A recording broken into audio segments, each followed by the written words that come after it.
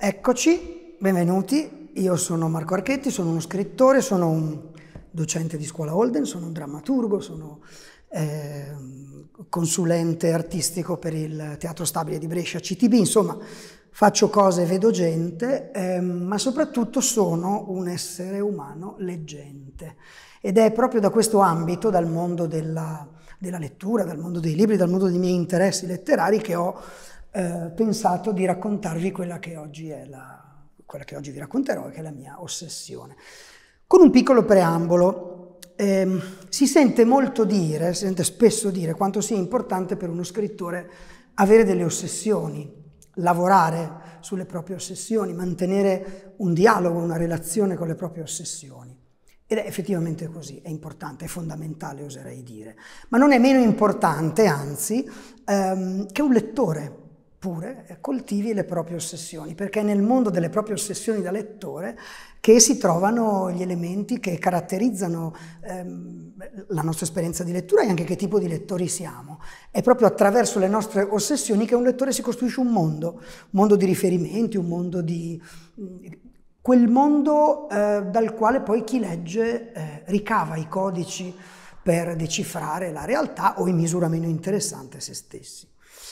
E quindi cominciamo. Io comincerei con un elenco che è questo, giusto per, per, per farvi, farvi, capire subito l'arietta che tirerà oggi. Cachessia, deperimento, tisi, consumazione, mal di petto, mal sottile, scrofolosi, peste bianca. E per chiudere il, l'arcinoto per noi, che abbiamo studiato in Italia perlomeno, chiuso morbo di Leopardi. Ecco, ebbene sì, oggi parleremo della mm, tubercolosi. È la tubercolosi mio, la mia pimpante ossessione. Ma la tubercolosi non tanto come fatto, eh, fatto epidemiologico e comunque è bene ricordare che eh, anche oggi, anche, anche, nel 2024, i dati del 2023 erano ancora tremendi, quelli diramati dal, ehm, da, da, da, dagli istituti che si preoccupano ecco, di monitorare lo stato sanitario del mondo, la tubercolosi è una realtà molto, molto drammatica, molto tragica, che ancora falcidia moltissime, moltissime persone, soprattutto nel continente africano. Noi oggi ci occuperemo non di questo aspetto, ma della tubercolosi mh, nei romanzi, della tubercolosi come oggetto di romanzo, come fatto narrativo, della tubercolosi e di tutti quelli che un bel romanzo scritto da Jean Galzi, un romanzo del 1912, chiamava Les Allongés, cioè letteralmente gli allungati, cioè coloro che, era la, il modo più sintetico per descrivere ovviamente i tubercolotici, se ne stavano sdraiati su queste chaise longue eh, solitamente intabarrati all'aperto in queste verande a respirare l'aria buona. Peraltro questo romanzo è ambientato nella medesima Berck, di cui parleremo più tardi in, in, citando un altro romanzo molto bello di Max Blecker che si chiama Cuori cicatrizzati. Les allongés, les allongés. Di questi allungati ehm, la letteratura si è fatta molto carico, li ha molto spesso raccontati. E per cominciare io farei un riferimento a una raccolta di poesie di Angelo Maria Ripellino che si chiama La fortezza d'Alvernia e che racconta Les Allongés esattamente così. Dice tutti noi contrassegnati da un numero, sbilenchi, sgualciti, piegati da raffiche, che opponiamo la nostra caparbietà all'insolenza del male. Contrassegnati da un numero, come se fossero dei detenuti, oltre che dei degenti, ed effettivamente un po' è così, un po' sarà così nell'analisi che oggi, che oggi faremo. Sbilenchi, piegati da raffiche. L'insolenza del male, che è un male che potremmo definire un male da romanzo, che effettivamente ha attraversato una grande parte della letteratura da grosso modo dal, da, dalla fine dell'Ottocento fino al Novecento, poco dopo la seconda, guerra, la seconda guerra mondiale, e che è molto interessante per me, ed è anche per questo che è diventata una mia ossessione, perché è una malattia che nei romanzi ha raccontato un mondo, ha raccontato una fetta di Europa, ha raccontato un'umanità, ha raccontato eh, veramente la storia del nostro continente, la storia della sua cultura e la storia del suo rapporto con la malattia, con la morte e con la vita, ovviamente. Eh, ma uno degli elementi che eh, per me è più interessante, analizzando appunto dal punto di vista letterario la tubercolosi, è vedere come la tubercolosi sia di fatto la storia di un equivoco. Anzi, a voler essere precisi, la storia di una serie di equivoci, perché prima dello scoppio della, de, dell'arrivo della rivoluzione industriale, quando le cose cominciarono a essere più chiare da questo punto di vista, eh, la tubercolosi era associata al vampirismo e associata a tutta una serie di cose che ovviamente non c'entravano nulla. Si diceva che fosse tipica di, chi, di coloro che erano cavalcati dalle streghe, era associata alla stregoneria, e soprattutto che fosse la malattia degli eh, onanisti frenetici, e magari su questo dettaglio, a questo dettaglio, rispetto a questo dettaglio passeremo oltre. Uno degli elementi, un altro degli elementi che animarono questo equivoco fu la convinzione che per un artista la tubercolosi fosse addirittura auspicabile, cioè l'idea che attraverso eh, la, la, la, tubercolosi si potesse accedere a un superiore stato di coscienza e che questa dimensione quasi purgatoriale dei sanatori garantisse una sorta di purificazione, di incremento dello sguardo. Ehm, addirittura alcuni poeti romantici, insomma Lord Byron in, in modo particolare, eh, ne, ne, raccontarono la, la, l'auspicabilità. Lord Byron molto esplicitamente disse che avrebbe amato, gli sarebbe piaciuto soffrire di tubercolosi. Addirittura le ragazze tutelavano il loro pallore in modo di far pensare a chi incontrassero di esserne, di esserne affette. In realtà eh, la tubercolosi beh, era una malattia infinitamente più prosaica di così, e sterminava soprattutto operai, contadini, persone che vivevano in condizioni eh, igieniche, igienico-sanitarie ed economiche precarie. E comunque vanta, possiamo dire, una serie di vittime illustre che io mi sono segnato per non dimenticarne, è una selezione, però per qualche ragione ho, ho indicato quelli che sono più, secondo me, più significativi e di cui è più utile sapere questo dato. Eh, Catullo, Demostene, Pergolesi, Keats, Kafka, Chekhov ovviamente, Orwell, Spinoza, Braille, Chopin, Gorky e Bukowski, Charles Bukowski. La cosa divertente, l'aneddoto divertente legato, è paradossale dire divertente parlando di tubercolosi, ma insomma è così, legato a Bukowski, è che gliela diagnosticò un veterinario, perché Bukowski, che viveva ormai agiato e tra due guanciali a Beverly Hills, ehm, facendosi visitare da medici che normalmente insomma, visitavano eh, i, i, ricchi pazienti di questo quartiere, non erano più abituati a riconoscerla, ma gliela, gliela diagnosticò un, un, veterinario, lui sì, la vide. Eh, e comunque in sintesi, in realtà nasce prima l'uovo o la gallina, probabilmente nasce prima la tubercolosi. I batteri sono comparsi circa 150.000 anni fa e le prime tracce furono, sono, sono ravvisabili, sono state trovate dagli archeologi nell'osso della zampa di un bisonte del Wyoming. Quindi eh, nasce 150.000 anni fa nel Wyoming. Oggi sappiamo con certezza che ne soffriva l'Homo erectus, e, ehm, e addirittura nel Levitico, tra le numerose maledizioni che Dio riserva scaglia contro l'umanità, c'è esattamente questa che vi leggo e vi cito proprio letteralmente, manderò contro di voi il terrore, la consunzione e la febbre che vi faranno languire gli occhi, che è una perfetta definizione del, del tubercolotico tipo. Ma siccome questa masterclass è, è, è, pensata anche perché noi che vi raccontiamo le nostre, le nostre, ossessioni in qualche maniera, non dico le giustifichiamo, ma insomma cerchiamo anche insieme a voi di trovarne, di trovarne ragioni e traiettorie, eh, devo dire che la prima volta che io mi sono trovato di fronte a un sanatorio non è stato in Europa, per quanto abbiamo detto dal punto di vista letterario, la tubercolosi è malattia che racconta, che ha raccontato l'Europa, è un pezzo molto preciso di Europa.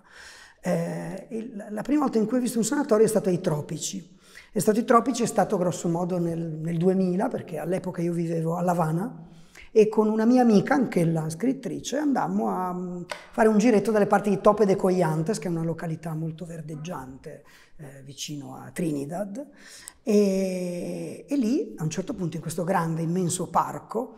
mh, mm, eh, su TripAdvisor trovate turisti che, che, lo segnalano e che lo raccontano, si vede la struttura maestosa e imponente a, a metà tra il, il, il, Liberty e il militaresco, tra l'Art Deco e la severità più... eh, di, questo, di, questo, sanatorio che fece costruire Batista, il dittatore precedente Fidel Castro, eh, perché ne soffriva il fratello. Poi la moglie si innamorò di questo, di questo ambiente che effettivamente è bucolico e, e, molto dilettevole e si fece costruire una residenza eh, che oggi non sopravvive come tale, ma è, credo, se non sbaglio, potrei sbagliarmi, ma in caso se qualcuno conosce il posto lo, me lo segnali, credo sia un luogo di ristoro, una cosa mezza via tra la gelateria, il bar, comunque un luogo di passaggio. Eh, questo sanatorio venne costruito dai primi degli anni 30 fino ai primi degli anni 50, quindi ci vollero circa, circa 20 anni, e Fidel Castro nel 59 quando la, si impose la, la, rivoluzione, la, rivoluzione, comunista a Cuba, anzi non ancora comunista, ma insomma la rivoluzione di Fidel Castro, nel 1959 lo trasformò in un hotel eh, di lusso per, per militari. Eh, non so che cosa ci sia stato in quel momento che mi abbia marchiato al punto che da lì non mi sono più liberato dell'immagine di questo sanatorio e del mondo sanatoriale al punto da, da, da ricercarlo continuamente nei libri nelle storie che, che, che, che, leggevo e che in alcuni casi addirittura immaginavo e inventavo. Però è stato così, è stata un'apparizione, probabilmente chissà l'incongruenza di questa apparizione, di, di, di, mi sarei aspettato di tutto all'interno di questo parco tranne che la, la, la visione del, di un sanatorio e però da lì la mia storia con la forma letteraria ecco, della, che, che racconta la tubercolosi i sanatori era, è, è cominciata. Addirittura questa ossessione eh, si sviluppa anche per, per altre vie. Eh, io sono un acquirente eh, di cartoline su eBay di malati, di degenti che eh, se ne trovano, eh, che, che, scrivevano a casa da, da, da, queste, da queste, località. E mm, ce n'è una che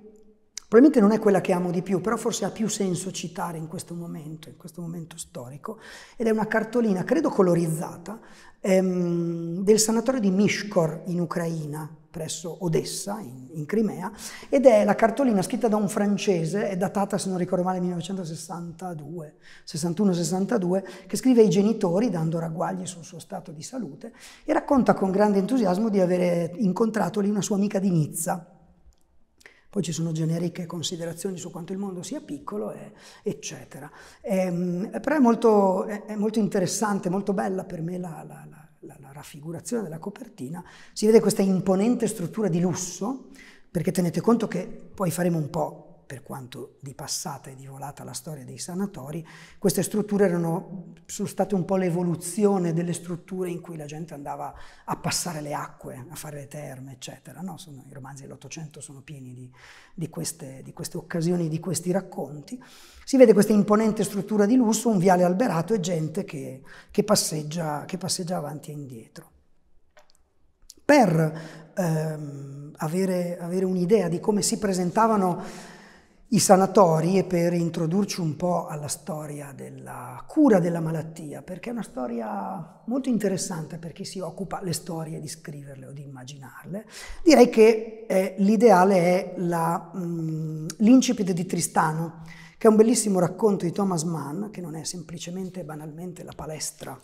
per questo, per la montagna incantata, che comunque è, resta e resterà insomma, il capoluogo di questa regione narrativa della letteratura della tubercolosi, la letteratura con tubercolosi.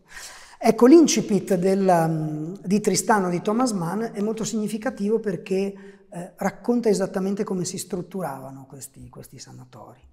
E recita così. Ecco Einfried, il sanatorio. Bianco e rettilineo, si estende col suo corpo principale e le ali laterali, in mezzo a un ampio giardino piacevolmente adorno di grotte, pergolati e piccoli padiglioni di corteccia. Dietro ai suoi tetti di ardesia si ergono verso il cielo imponenti monti verdi d'abete, d'abete che degradano dolcemente. È davvero una descrizione piuttosto valida insomma, per, per, per, per, immaginarsi un qualunque sanatorio che tra la fine dell'Ottocento e i primi del Novecento ecco, sorgevano, sorgevano in Europa. Un altro degli elementi che ha contribuito a eh, radicare in me questa ossessione eh, per, per, la tubercolosi, per la letteratura dei sanatori, eh, è stata la storia della cura della malattia, perché la storia della cura della malattia, perlomeno fino agli anni 50, quando poi viene scoperto il vaccino, e da lì cambierà tutto, verranno meno anche le, le, le, proprio dal punto di vista architettonico, le, le strutture dei sanatori verranno abbandonate, i dispensari verranno abbandonati, peraltro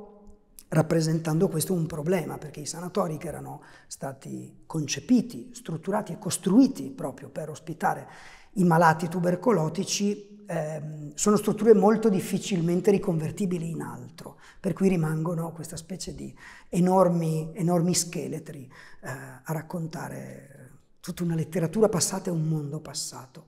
Però l'elemento interessante è che la storia della, della, cura della malattia va di pari passo con la storia dell'architettura sanatoriale vera e propria. Cioè eh, l, l, l, chi, chi, si occupava diciamo, di eh, individuare, di curare epidemiologica, di studiare epidemiologicamente la malattia, si preoccupava anche di creare delle strutture che rispondessero a un criterio che noi potremmo avvicinare a quello della città ideale. Quindi la città ideale sanatoriale, un luogo adatto eh, perché i malati passassero lì del tempo a cercare di guarire. Le statistiche non erano proprio favorevoli, ma insomma, a cercare di guarire secondo una, una delle prassi di cura che erano sostanzialmente articolate nel, nel, nel trinomio inalterabile di riposo, ipernutrizione e aria buona. Sull'ipernutrizione va detto che è molto divertente vedere che nella montagna incantata Thomas Mann ci racconta abbondantemente i menù e quello che si mangiava questa, nella, nella, nella, nella, fastosa sala da pranzo del, del sanatorio Berghof a, a, Davos, in cui è ambientato la montagna incantata, ed effettivamente leggendo abbiamo la sensazione che se i protagonisti di questo romanzo non fossero morti di tubercolosi sarebbero morti di colesterolo probabilmente, perché c'era il primo, il secondo, il terzo, il quarto, il quinto, 16 dessert, tutto all'insegna del lusso, dello sfarzo alimentare, ma perché era, la, era, era, era una convinzione, era una convinzione che, che, che, su, sulla quale la, la, lo studio dei medici si basava, il fatto che queste persone avessero bisogno di essere riempite, perché si svuotavano, era evidente, allora dovessero essere ipernutrite. I primi sanatori in Europa ovviamente, è quasi superfluo dirlo, eh, Svezia, Germania, Francia e soprattutto eh, ovviamente Svizzera e Davos è il luogo più significativo legato insomma, alla storia, alla memoria dei sanatori. Peraltro il primissimo fu a Gobersdorf, nel mh, mm, confine tra Polonia e Repubblica Ceca, quindi non in Svizzera, ma fu proprio da lì in poi furono essenzialmente svizzeri. Solo a Davos ce n'erano una quindicina, se non ricordo male eh, tra Polonia e Repubblica Ceca ed era diretto dal dottor Hermann Bremer ed è eh, la seconda metà dell'Ottocento, grosso modo. Non abbiamo la data esatta, ma, ma, ma quello è il, è il, periodo. E un altro elemento che a me commuove, lo dico davvero da, da lettore, non solo da scrittore, un elemento che commuove, è la storia di questi medici che si dedicavano alla tisiologia e voi immaginatevi qualcosa a metà tra eh, lo scienziato e il gentiluomo. Si dedicavano alla tisiologia perché spesso avevano malati in famiglia o malati nella loro storia familiare o, o erano malate le loro mogli, per esempio. E mm, in questo senso ci viene, ci viene, molto incontro ancora una volta la montagna incantata. Il consigliere Berens, che è uno dei personaggi più belli della montagna incantata, è lì e si occupa di questo perché ha una moglie, aveva una moglie malata di, di tubercolosi. Ed è molto significativo quello che lui dice a un certo punto a Castorp, ad Hans Castorp, che è il protagonista della, di, questo, di, questo, romanzo, indimenticabile. Dice così il consigliere Berens, parlando di se stesso e parlando un po' a nome, possiamo immaginare di tutti questi medici che in questo, in questo periodo della nostra storia europea cercavano di capire, oltre che di studiare la tubercolosi. Diceva così, diceva, conosco la morte, sono un suo vecchio funzionario. Mi creda, lei la sopravvaluta. Noi veniamo dalla tenebra e andiamo nella tenebra e in mezzo ci sono le esperienze, ma principio e fine non sono nostre esperienze. Um, è un mondo che è um, incredibilmente interessante, immaginando proprio di doverlo a brevi tocchi ritrarre. È un mondo molto legato alla filantropia, molti di questi medici eh, erano consci di questa loro missione filantropica. E, ehm, e, un'altra lettura che per me è stata davvero importante, che ha ulteriormente cementato questa ossessione per la letteratura sanatoriale, Eh, è la letteratura, diciamo, dei, dei, dei, giovani medici che facevano tour, i cosiddetti grand tour sanatoriali e segnavano sui loro taccuini e sui loro diari i loro resoconti, eh, quello che avevano visto, quello che imparavano, quello che intuivano, proponimenti, osservazioni. Ne ricordo uno di un certo Donati ehm, che, che, mi colpì molto proprio per la, anche per l'eleganza della scrittura. Eh, di certo la tubercolosi è presente nella letteratura, ma non solo, è presente anche nella storia della, della, medicina, della filosofia, già nel V secolo si parlava di tubercolosi, ne parlò anche Ippocrate. Ovviamente eh, oggi ci sembrano piuttosto bizzarri, naif i, i rimedi la, rispetto ai malati di tubercolosi. Ippocrate, per esempio, consigliava essenzialmente vino e purganti, che può essere una dieta con le sue asperità, ehm, oppure riposo al sole, ecco, a un certo punto si cominciò a, a immaginare che il riposo al sole potesse essere eh, benefico per una malattia che veniva ancora chiamata consunzione. Il mio preferito però è Ambrosi Paré, un, il chirurgo del re, del, questa è sua è un suo virgolettato che vi riporto, siamo nel 1500, diceva che la cosa importante per un malato di tubercolosi era tenere a portata di mano una nutrice per succhiarne il latte. E effettivamente immagino anche logisticamente piuttosto scomoda da gestire la, la, la situazione. Però la, la, frase che vorrei portare alla vostra attenzione è un'altra. Eh, ed è quella un, del fondatore dell'istologia moderna, ed è François Xavier Bichat, che dice una cosa che è interessante non tanto perché ci racconta un atteggiamento specifico rispetto al male, rispetto alla vita, alla morte e alla salute, quanto perché, e tutto questo è molto oldeniano, è una frase pronunciata da un medico che ci serve, che è molto utile perché è il codice più importante attraverso il quale, la lente più importante attraverso la quale noi possiamo leggere tutta la letteratura che racconta i tubercolotici ed è quello che faremo, che faremo oggi. La frase di Bichat è questa. La vita è il complesso di funzioni che resistono alla morte. La vita è il complesso di funzioni che resistono alla morte. Cioè la vita non è semplicemente la vita, non è. È un insieme di forze che si oppongono alla morte, che è un modo di dire eh, lo porto in qua, insomma lo porto sul terreno più, più letterario, se volete, più filosofico, è un modo di dire che siamo nella morte e le opponiamo resistenza. Questa è una frase importantissima perché, ripeto, eh, ci permetterà di leggere in un certo modo parte, perché non l'analizzeremo tutta, lo dico subito, ovviamente, tempo non c'è e, e, anche la vostra pazienza ha dei limiti, io ne sono conscio, parte della letteratura che racconta questa malattia.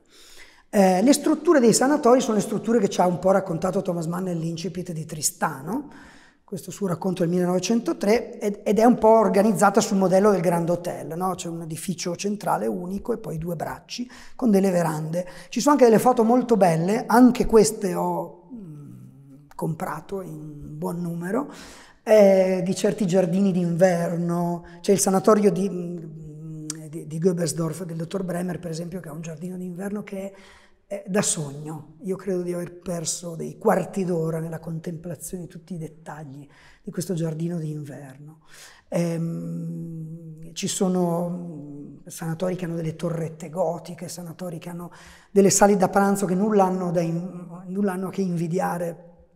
alle sale da pranzo regali o imperiali. Sono queste meravigliose verande di ghisa, di ferro, di vetro, con, con dei chioschi girevoli. Insomma, ehm, sono strutture estremamente affascinanti anche proprio per la bellezza architettonica. Eh, tra l'altro ricordiamo furono tra le prime strutture a godere dell'illuminazione a gas. E, e, queste strutture furono poi dei modelli, furono poi dei modelli che vennero imitati in tutto il mondo e anche in Italia, pensiamo a Sondalo e a, e a, e a tutti quei, quei, modelli architettonici che rimandano a questo, di, a questo, tipo di, struttura. E poi certo arriva un po' di, il, il razionalismo a, a, a preoccuparsi di, di, che queste strutture avessero anche delle altre caratteristiche, non semplicemente questo, queste. Eh, nel 1890 nella sola Davos ci sono tre sanatori per un totale di 3.000 malati, quindi eh, fatevi idea delle proporzioni della malattia. E tra l'altro c'erano delle misure igieniche piuttosto, piuttosto all'avanguardia, che sono, che sono, spesso evocate nei, nei, nei, nelle note insomma, de, di questi grand tour che facevano i giovani medici, eh, tra cui anche una certa cura delle tende, dei, dei pavimenti, eccetera, insomma, norme igieniche particolari, a cui si cominciava a prestare attenzione. Però, però, però, entrando nella letteratura che riguarda il mondo sanatoriale che riguarda, e che riguarda questo, questo, questa parte di Europa che, che, che, tanti romanzi hanno raccontato. Che cosa c'è che mi ossessiona e che cos'è che io trovo molto interessante? Io direi essenzialmente tre aspetti, sono uno tecnico, uno emotivo e uno narrativo. Ovviamente tutta questa, questa, consapevolezza mi è venuta preparando questa chiacchierata con voi, non certo, non certo, a priori, perché se c'è una caratteristica delle ossessioni è che ti consumano e non ti permettono di sistematizzarle in nessuna maniera, e va bene così. I tre aspetti, quello tecnico, quello emotivo e quello narrativo. Quello tecnico è semplicemente questo, il fatto che ogni romanzo che racconta la tubercolosi, ogni romanzo ambientato in sanatorio, eh, è ambientato in uno spazio circoscritto e vede una relazione ristretta tra un numero di persone ristretto. E questo è già un presupposto molto interessante, che io poi amo anche in altri tipi di romanzo. Eh, l'aspetto emotivo è quello del desiderio, cioè tutti questi romanzi, contrariamente a quanto si, si, pensi, certo sono romanzi che raccontano la malattia, certo sono romanzi che raccontano una condizione, certo abbiamo detto sono romanzi che raccontano la cultura di un continente, eh, diciamo lungo questi 70-80 anni che stiamo analizzando, ma sono soprattutto romanzi sul desiderio. Sono romanzi di un'incredibile carica erotica che raccontano l'erotismo. C'è una specie di incremento di afflusso di sangue narrativo intorno agli organi di senso, agli organi desideranti, ai cinque sensi. Sono romanzi in cui si racconta il corpo, come in altri romanzi probabilmente non, non, non, non si fa, non si riesce a trovare, romanzi coevi ovviamente. Si racconta il corpo e si racconta il desiderio. E poi c'è l'elemento narrativo, su tutto questo, e dico proprio su tutto questo, incombe la morte, per cui sono tutte passioni eh, attraversate dall'inquietudine rispetto alla loro possibile soddisfazione, al loro possibile compimento. Ed effettivamente eh, è anche questo che rende molto forte la, la, la, l'elemento della passione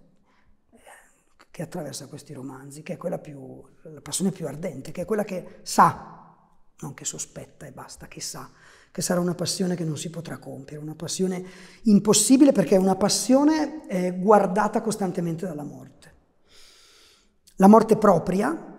prendiamo ad esempio ancora Lance, è inevi- del resto la montagna incantata è un romanzo inevitabile, ancora Lance Castorp della, della montagna incantata, Castorp scopre al, al Berghoff non tanto la propria mortalità, perché sapete, la mortalità è un concetto astratto, filosofico, siamo mortali, prima o poi moriremo, ok? Ma Castorp scopre la propria moribilità, che è un'altra cosa. La propria moribilità vuol dire il fatto che io, Hans Castorp, io, Marco Archetti, io, ciascuno di voi, posso realmente morire tra dieci minuti, mezz'ora, una settimana. Quindi scopre la, moribilità. E poi un altro elemento molto interessante di questi romanzi è, e anche qui rimaniamo ancora per un momento nei, nei, nei confini, per quanto ariosi, della montagna incantata, è la morte altrui. E sono due cose molto diverse, perché se la propria morte è così presente, rispetto ai protagonisti di questi romanzi, la morte degli altri è sempre nascosta. Alla morte degli altri si allude, ma la morte degli altri non si deve vedere non deve essere evidente. Addirittura immaginate che la, la, uno dei, dei, momenti in cui viene rappresentata in maniera più viva e più inquietante la morte altrui nella montagna incantata, Thomas Mann lo fa con un dato uditivo e lo fa con quel fruscio sinistro che nottetempo Hans Castorp sente eh, di quelle che nella traduzione di Ervino Pocar vengono chiamate le guido slitte, immaginiamo dei bob probabilmente, delle slitte, dei, eh, sul, sui, sulle quali venivano caricati eh, i morti di un sanatorio superiore, perché sopra il Berghoff lo dice a un certo punto il, il cugino di Castorp, perché Castorp è lì per, per, andare a trovare il cugino e crede di star bene lui. Ehm, c'è un sanatorio superiore da cui questi morti vengono calati perché arrivino a valle e poi seguono il loro regolare destino con funerale e tutto, insomma. Ma mh, l'idea che la morte degli altri viene quasi trafugata dagli occhi, da, da, dagli sguardi, dallo sguardo collettivo di tutti, di tutti, di tutti gli allongés che si trovano, che si trovano lì. E alla morte non si fa, non si fa ehm, quasi mai cenno, alla morte, mh, la morte è presente, serpeggia, ma non è, una, una, non è concreta. Solo in un caso a, a, a, a, Castorp si farà presente agli occhi, perché Castorp attraversa il corridoio e da una porta socchiusa vedrà il primo morto della sua vita al Berghof e cercherà di riprodurre l'espressione, proseguendo la sua camminata nel corridoio, in quel momento, proprio mentre Castorp, impressionato dall'espressione, dalla, dal, dal volto di cera di questo, di questo, di questo tubercolotico che, che, che è morto, eh, mentre cercherà di riprodurre la sua espressione per cercare di comprenderla a fondo, ecco che in quel momento nel, gli camminerà incontro Madame Chauchat, che poi sarà la donna di cui lui si innamorerà, perché come abbiamo detto sono tutti romanzi d'amore e di, e di, e di passione. La storia di Castorp, ripeto, è inevitabile, la storia di un uomo mediocre, Thomas Mann ce lo dice a un certo punto, non staremo certo qui a fare il panegirico di Hans Castorp, non c'è granché da dire. È un uomo medio, un uomo mediocre che deve andare a trovare il cugino per tre settimane e alla fine non scenderà più per sette anni. E, mh, direi che le cose che impara, oltre alla propria moribilità, impara un'altra cosa fondamentale, che in tutti i romanzi diciamo di ambientazione sanatoriale è, è, è rilevante, ossia l'idea che ci sono quelli di su e quelli di giù e che la sofferenza è un rango, cioè si appartiene alla sofferenza, non si è semplicemente sofferenti. E quelli di su sanno delle cose che quelli di giù non sanno. Eh, tutta la montagna incantata è disseminata da questa consapevolezza. Eh, molti dei protagonisti di questo, di questo, romanzo dicono esattamente questo. Sono così tante le cose che quelli di giù non sanno. Noi invece le sappiamo perché noi apparteniamo a quelli di su, apparteniamo a quelli che appartengono alla morte. Siamo parte di quelli che eh, sono nella malattia, sono nella morte e quindi conoscono, sanno che cos'è la vita. Tra l'altro a quelli di su, eh, a Mes amis de là-haut, è la, la, dedica di un altro bellissimo romanzo, chi, chi, sa il francese ed è appassionato di questi temi se lo può leggere, di uno scrittore svizzero che si chiama Robert Detrat. Il romanzo è Les Heures de Silence ed è proprio dedicato ai miei amici di lassù, perché lassù è una categoria dello spirito. Lassù è una condizione, una condizione precisa. Sebbene, come spesso ribadisce Thomas Mann, alla vita è negato di comprendere se stessa, eppure attraverso la malattia, attraverso la sua degenza, attraverso la sua... è quello che Castorp cercherà di fare, fare in modo che vita, alla, vita non, alla sua vita non sia negato di comprendere se stessa. Infatti questa è la storia di un romanzo, è la storia di un incremento, la storia di, di Castorp è la storia di un, di un uomo che attraverso la malattia comprende, cerca di comprendere. Castorp è, è ignaro ovviamente, anche del fatto che ci rimarrà quando entra al, Bergo, al Berghof e tutto il suo percorso, i suoi incontri, i suoi, le, le, sue conversazioni, i suoi pensieri saranno appunto pensieri che lo consegneranno a un incremento in questa storia che non è altro che una grande storia che ragiona sullo spirito e sulla materia. Perché se dovessi in due parole raccontare questo che è un romanzo farsesco e comico e divertente, ce lo racconta e ci autorizza questa interpretazione proprio Thomas Mann in una conferenza a Princeton di dieci anni successiva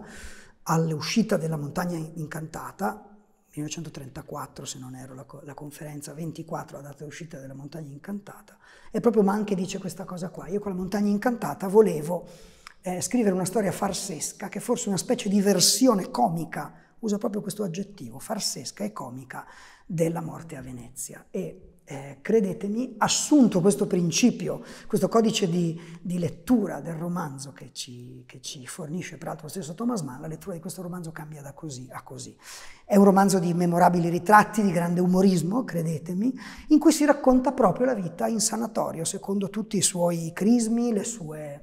i, i, suoi appuntamenti, le conferenze ogni due settimane de, de, de, del, del, dottore, le, le, passeggiate, la noia, il guardarsi da un tavolo all'altro, il consumarsi nel desiderio erotico, nel senso in cui ve lo raccontavo prima, le visite. Eh, c'è una parte bellissima in cui eh, a Castor viene fatta una radiografia della mano e Thomas Mann racconta e dice che Castor gettò uno sguardo sulla propria tomba. Ecco, Dovendo fare una rapida carrellata dei romanzi che raccontano, che raccontano la tubercolosi, ecco, io direi che da Thomas Mann, di cui abbiamo abbondantemente parlato, ehm, possiamo per esempio cascare su questo, che si intitola proprio La cascata, David Vogel. David Vogel ha, storia, ha una storia personale sconciata dalla storia, dalla storia con la S maiuscola, perché è, è nato in Ucraina, nel 1891, poi visse a Vienna dove venne arrestato in quanto russo, ovviamente siamo alle soglie della, della, prima guerra mondiale, poi visse a Tel Aviv e a Parigi, qui venne arrestato in quanto austriaco prima della seconda guerra mondiale, poi venne perseguitato dai tedeschi perché ebreo. Ehm, una tragicissima vita da romanzo, purtroppo per, per lui non fu un romanzo, ma eh, in questo bellissimo racconto che si chiama La cascata, ecco anche qui si racconta di un sanatorio, si raccontano i suoni di questa cascata. Ci sono un paio di personaggi memorabili, c'è un certo Adler che ha una specie di aritmia nella percezione della sua realtà, cerca di vivere, cerca di tirare avanti, cerca di fare come tutti, come può, e, e ogni tanto ha delle illuminazioni, delle epifanie violentissime sul fatto che probabilmente il suo destino è segnato. E poi c'è Ornik, il gigante Ornik, che è l'altro personaggio importante di questo romanzo, che dice una frase molto importante, a un certo punto dice non ci si può distrarre mai dai polmoni, perché poi l'ossessione di questi personaggi è ovviamente, è ovviamente questa, la guarigione, la malattia, ascoltarsi, ficcarsi il termometro in bocca ogni due ore per vedere se eh, la, la, temperatura cresce, si abbassa, eccetera. E ci sono poi dei, delle immagini molto belle in questo romanzo dei ricoverati, dei, dei degenti che, che, fumano nelle terrazze di queste verande in cui, in, cui, in cui se ne stavano a respirare l'aria buona intabarrati, appoggiati al parapetto con la schiena mentre si rivolgono in alto alle ragazze che dall'altro fumano. E, e così si, si, si, si seducono, si raccontano cose. Eh, anche nella veranda di Salvatore Satta, che è un romanzo italiano del 1928, non faremo la storia di come questo romanzo è stato ritrovato e pubblicato, anche se meriterebbe forse una, una chiacchiera a parte, ma insomma è stato scritto nel 28, ma è stato pubblicato e ritrovato molti anni dopo. Anche qui c'è l'amore minato dal decreto insondabile della morte. E soprattutto c'è un elemento molto interessante che è questo, che essere malati vuol dire non poter vivere e non poter nemmeno morire. Per cui certo la sofferenza è un rango ed è esattamente questo, il fatto di essere sospesi tra la vita e la morte, di non essere né completamente vivi né completamente, completamente morti. E c'è l'immagine bellissima di, questo, di un personaggio che si chiama Melanzana, eh, che è un, uno che ci ha messo 30 anni a morire e non è ancora morto perché è qui che ce la racconta la sua vita, è un rottame, uno che era malato e poi, non, poi è sopravvissuto alla propria malattia e che adesso tira a campare, e viene raccontato in questo libro,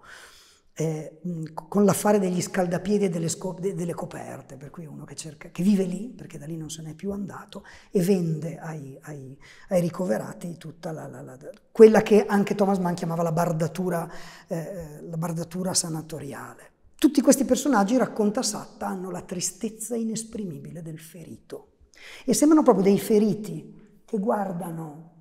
la salute, incarnata nelle donne che sfilano davanti a loro in quella bellissima scena che sta nel capitolo 4, mm, mi sembra, ma non vorrei dire una baggianata,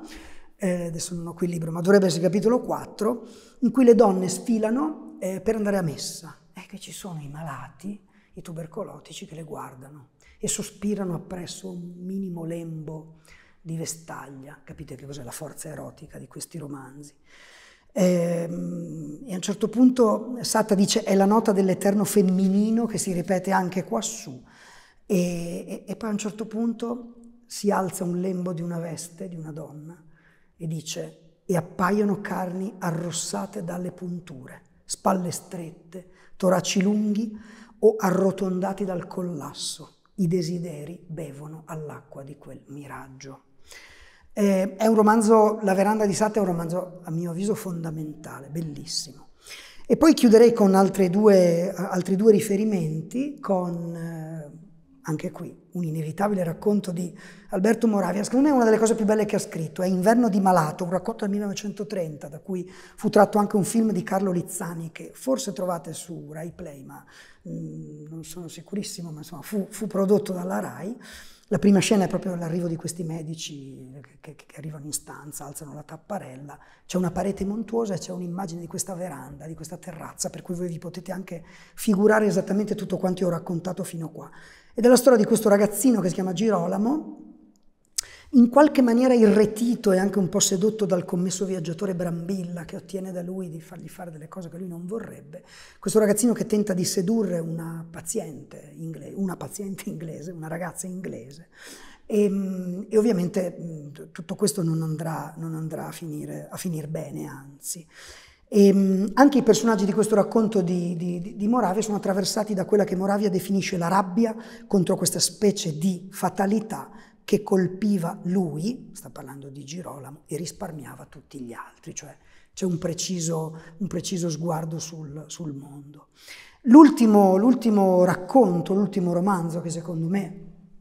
vale la pena di citare, beh, ce l'ho quindi ve lo mostro anche, è questo Max Blecker, Cuori cicatrizzati, è un romanzo del 37. Eh, a questa analisi sfuggono molti romanzi ovviamente, io mi sono limitato grosso modo al, mm, a, quel, a trentina d'anni che sta tra, tra, i primi anni 30 e, e appunto questo, questo, 37 di questo ultimo, di questo ultimo racconto. Ehm, anche Max Blecker ha avuto una storia tremenda, eh, era un ebreo rumeno malato di tubercolosi ossea, eh, e che ha passato dieci anni della sua vita a letto, completamente immobilizzato, lui è morto a 29 anni. Il romanzo è ambientato in quella Berck di cui vi parlavo, cui vi parlavo all'inizio e ehm, è nel dipartimento Passo di Calais nel nord della Francia. È stato tratto anche un film molto bello, forse con qualche letterarietà di troppo, ma un film interessante perché è molto bella la ricostruzione dell'ambiente sanatoriale, della vita dei, a me viene sempre di chiamare i detenuti, soprattutto quando parlo di Max Blecker, che è un autore che io veramente amo moltissimo mi, mi tocca, mi ha sempre molto commosso e questo romanzo ovviamente è in gran parte responsabile del mio amore per, per Max Blecker. Racconta di Emmanuel, che è un giovane studente di chimica, ehm, che è ricoverato a Berck, in un posto che viene raccontato così da, da Max Blecker. Dice, Qui si è accumulata tutta la malinconia del mondo, perché tutti coloro che stanno a, a Berk sono ex malati, eh, che non sono riusciti a, a vivere a, altrove, non sono riusciti a, a immaginare una vita diversa. Per cui quando anche fossero guariti, e ripeto, la statistica non era certo dalla parte dei malati a quell'epoca, sono rimasti all'interno del, del sanatorio per, per riciclandosi vari, secondo vari ruoli, secondo varie possibilità di, di, di, di vita e di esistenza. L'immagine più forte di questo romanzo è di questi malati eh, spinti su queste barelle, su questa meravigliosa spiaggia sferzata dal vento e che, che ha qualcosa di, di, di, di terribile. È, è, bellissima e ha qualcosa di terribile, immaginata e vista con gli occhi di questi, questi, di questi malati. Ovviamente Emanuele si innamorerà e ovviamente scoprirà nell'amore una gabbia dentro la gabbia, per cui è un amore tremendo, terrificante. Ehm, in sintesi direi che, tra l'altro, in questo romanzo c'è un elemento eh, che è ancora più, che è un elemento fortissimo in tutto questo genere di, di, di letteratura, che è che la guarigione, che è tutto quello che desiderano questi malati, è l'unica cosa che, che, desiderano e che vogliono, in realtà non è meno spietata della malattia. E in questo c'è sicuramente un contenuto che ci,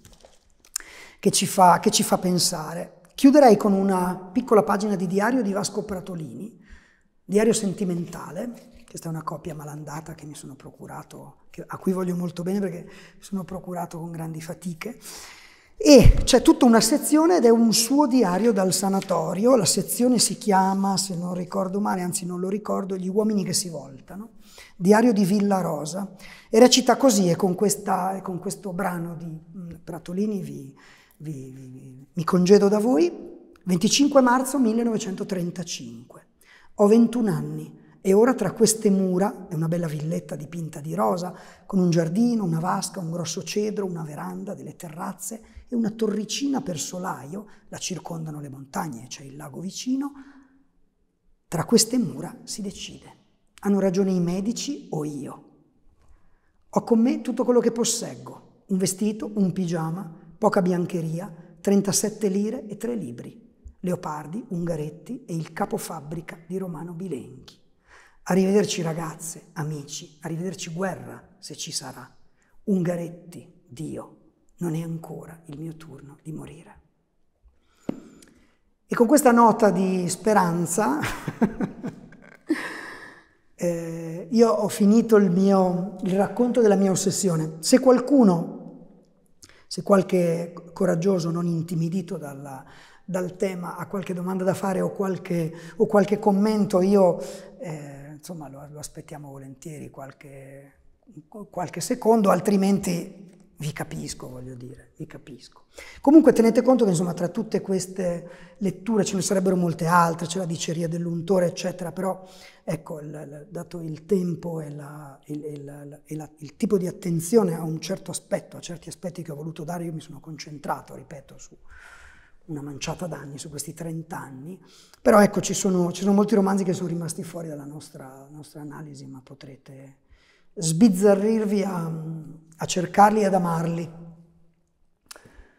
Eh, io qui non vedo, non vedo segnalazioni, non so se... Aspettiamo ancora un attimo, certamente, ma eh, anzi ora diventa una questione di una specie di sfida, vediamo se c'è un coraggioso o una coraggiosa che ha domande o osservazioni da fare su questo tema.